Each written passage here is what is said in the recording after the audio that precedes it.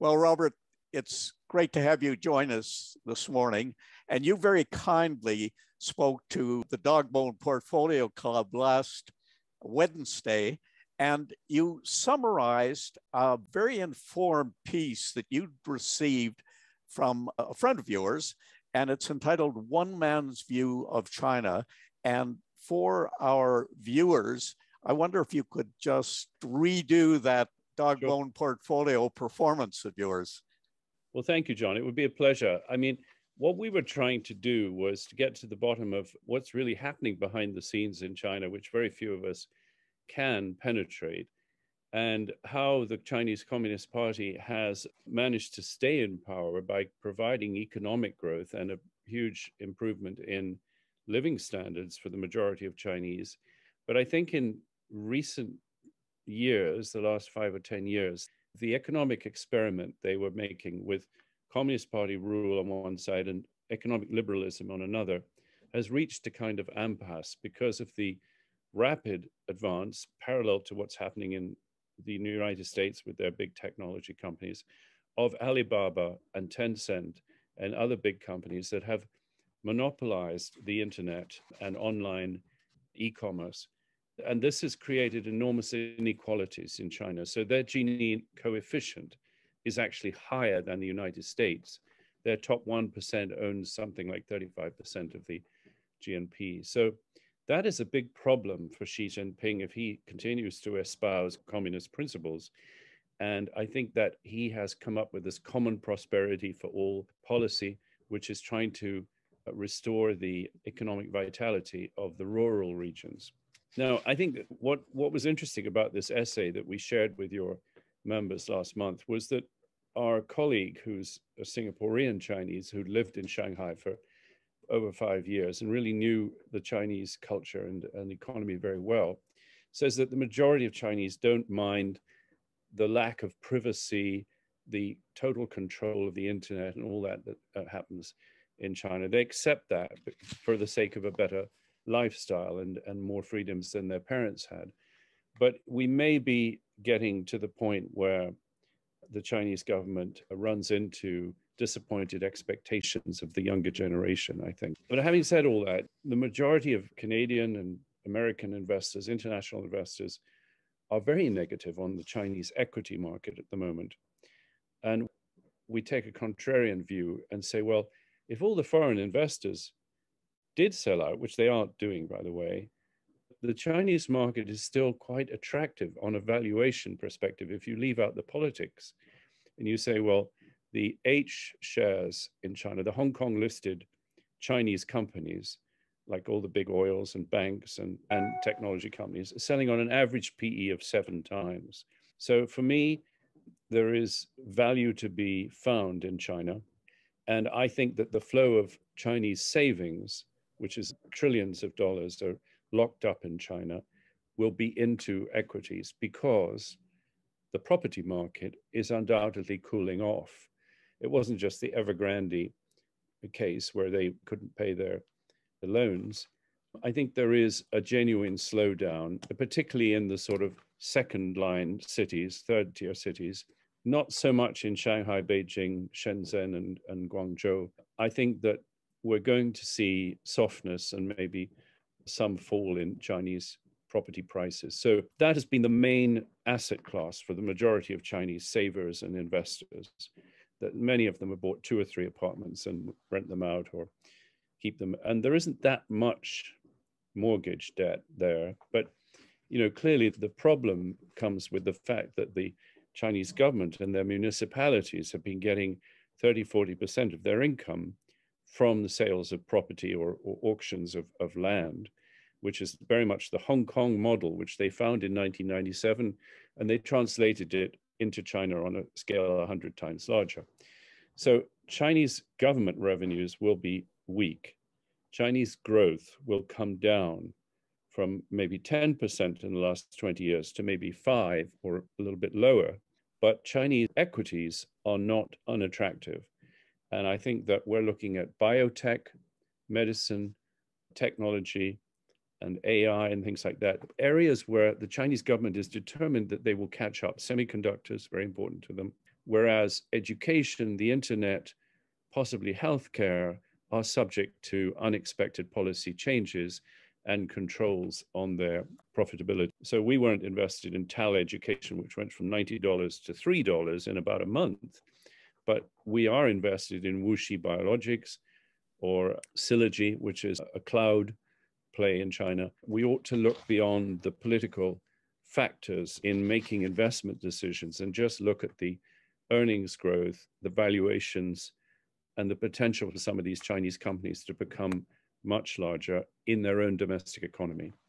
Now, what percent of your bamboo strategy is allocated to this focus group of Chinese shares? China currently is 26% of our bamboo fund strategy. And we're building up India, which is nearly 18%. We have about 10% in Taiwan and in Korea, respectively. And we're also building up Southeast Asia, which I've always regarded as the third leg of, of the stool in our Asian strategy. So Singapore, Indonesia, Vietnam are building up again to about uh, 15 to 20%. And I think I mentioned on the call with your Canadian colleagues that Vietnam is possibly the most exciting economy in Southeast Asia with 8% GNP growth and a, a relatively immature stock market. But we've made 85% in our Vietnamese shares this year. And I think it's just beginning. I think it's a, a real catch up situation where manufacturing is shifting out of China for textiles, shoes, electronics, clothes, and so on to Vietnam. It's 100 million population, much lower wages, and a keen, eager, young consumer population. I think when you visit Vietnam, you feel this is really an exciting economy, which is where China was 20 years ago. So that and Indonesia, which is a prime beneficiary of higher energy prices, Indonesia is, is benefiting a lot from uh, flows of foreign capital. We, we don't have any investment in Thailand, Malaysia, and only one stock in Singapore. And do you have a sliver in Australia?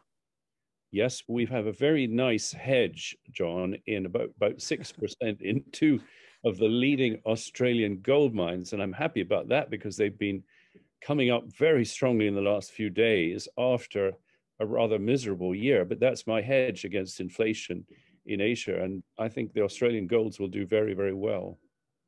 Now, while you have 18% of your Asia bamboo strategy in India, you right. have a separate fund, yeah. the Indian Ocean Fund, which is dedicated to India.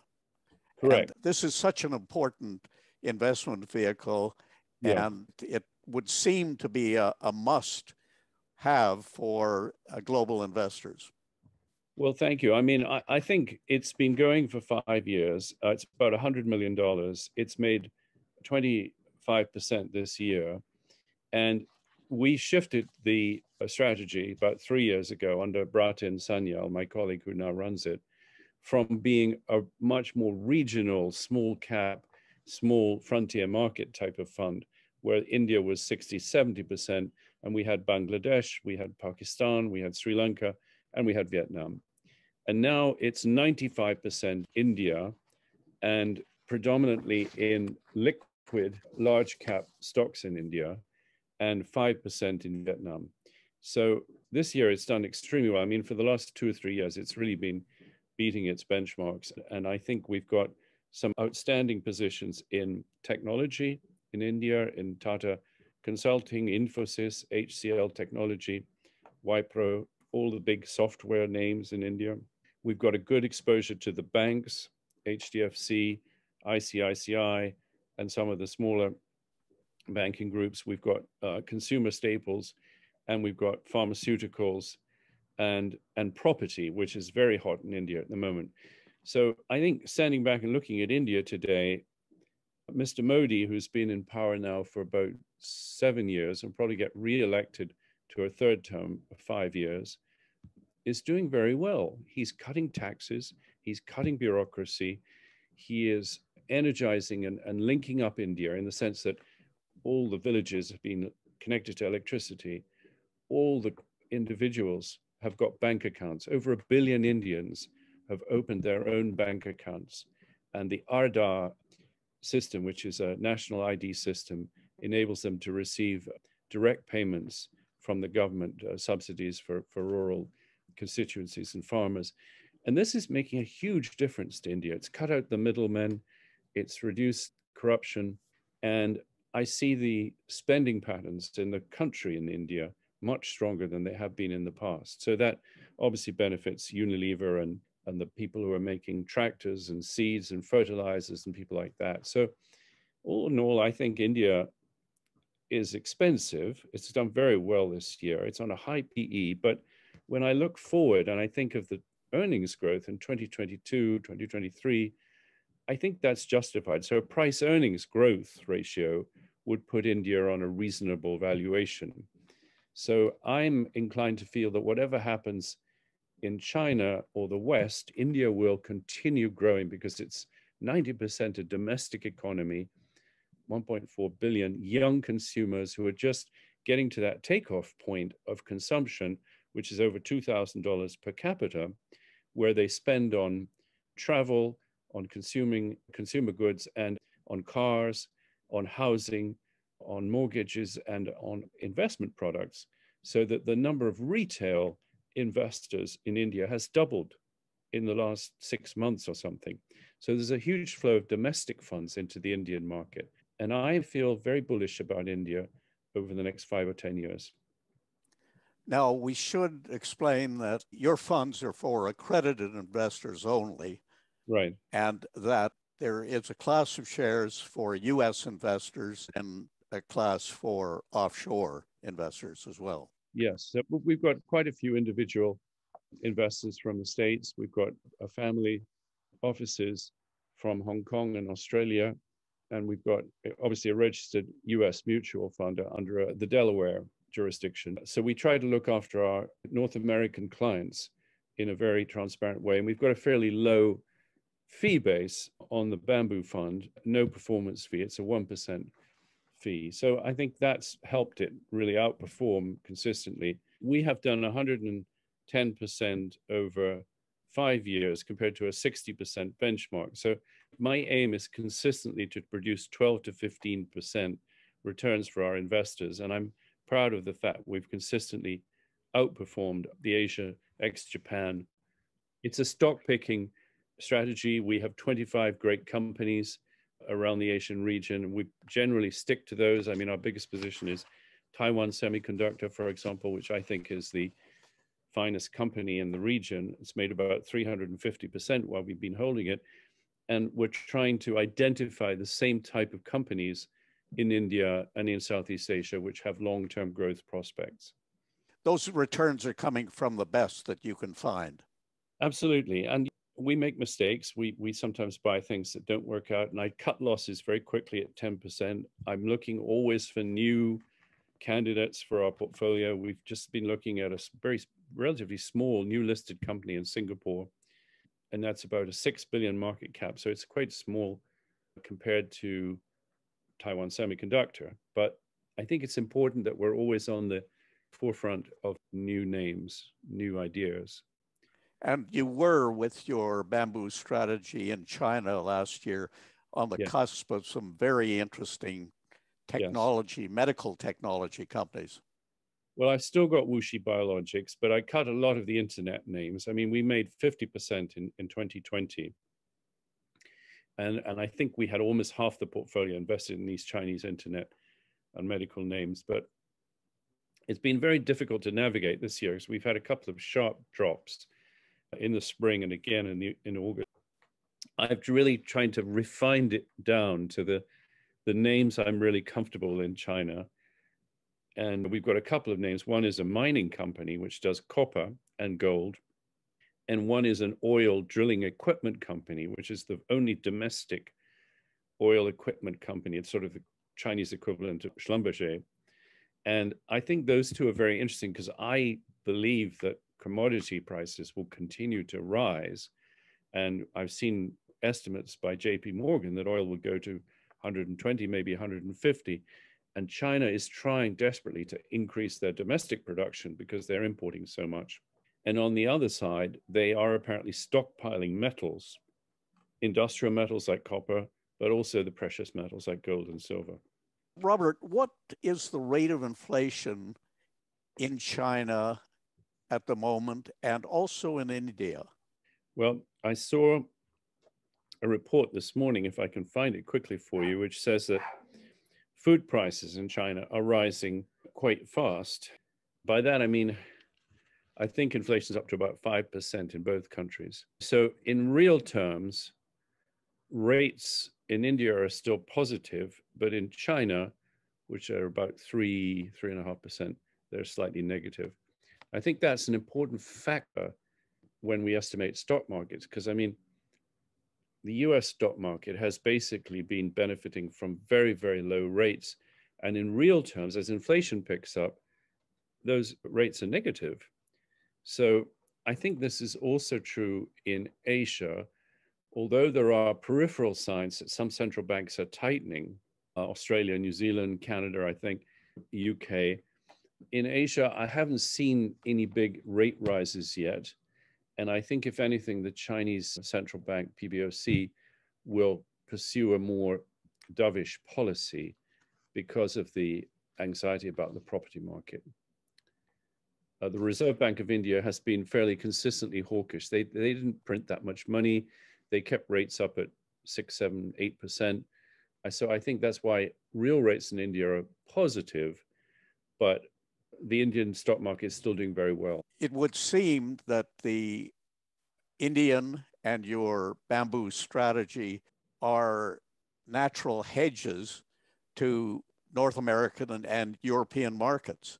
And the, you know what I always go on about is the fact that your backyard is really half the population of the world. Well, that's and true, John. Yeah.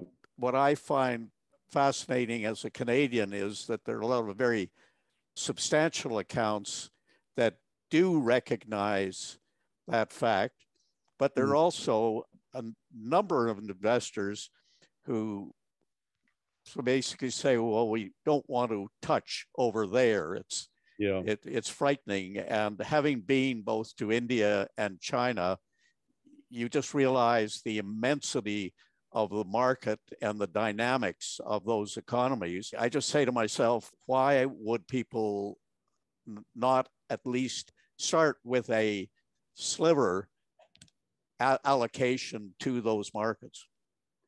Well, of course, I agree, John. I mean, I moved to Hong Kong 40 years ago next March, and I was astonished as a young man what, what was going on around me. The Chinese family businesses working 18 hours a day, sometimes tax rates of 15%, tremendous 50% savings. The work ethic, the family culture, the sense of this enormous energy powering so many companies. And that was just in little Hong Kong. So I started to think, what will happen if China allows people to have companies and build up their wealth? And you know, I wrote the first book, uh, East West Pendulum, in 1991. And we never thought it would happen that quickly. But boom, Deng Xiaoping announced the following year to get rich is glorious. And suddenly, China was on a capitalist path. And we had 30 years of extraordinary growth. And the same thing happened, funnily enough, in India. Rajiv Gandhi's government had a foreign exchange crisis in the summer of 91. And they needed to open up to Western investors. So it was a big change, of course. India had been the socialist Raj allied to Russia, and suddenly they turned to America and to Britain and Canada and said, we, we need foreign investors, we need to open up our capital markets and so on. So that also was a starting gun for me. And so my company was China and India, and it still is that basic vision. These are the two big neglected emerging markets and unlike Brazil or Russia, they're not dependent on commodity prices. And they've got a better work ethic and they've got a consistent growth and population growth and income growth and savings.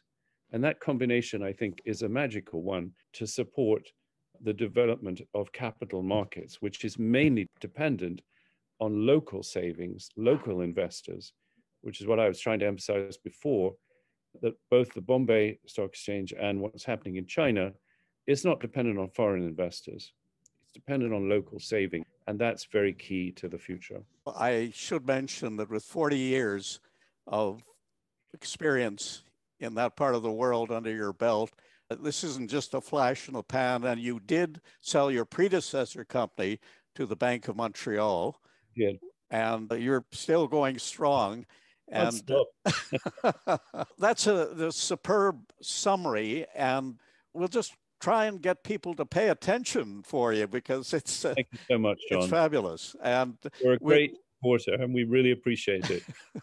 just to end this, Robert, tell us what you're putting together for the Queen's Platinum Jubilee. Well, I'm not ashamed to be a passionate monarchist, John, and in the Golden Jubilee in, in the summer of 2002, I gave her an engraved bowl, a glass engraving, which apparently she liked. And this time I thought, she's 95. she doesn't really want a lot of gifts. But I thought I'd write some stories for her. And it begins in Scotland, which is, you know, her mother was Scottish. She's very attached to Scotland. And then I go through Wales and Ireland and England, and then to the communities, the Indian and Pakistani communities in England, the Jewish community, and various dependencies like St. Helena, Gibraltar, and of course, Canada and Australia. So I've got stories from each region that complement this multifaceted, about 20 stories now, view of the United Kingdom and how it's changed and how so many immigrants, like from Hong Kong, appreciate what Britain has to offer in terms of freedom and economic opportunity. All fascinating. We'll stay tuned. Okay. And thank you. thank you, John.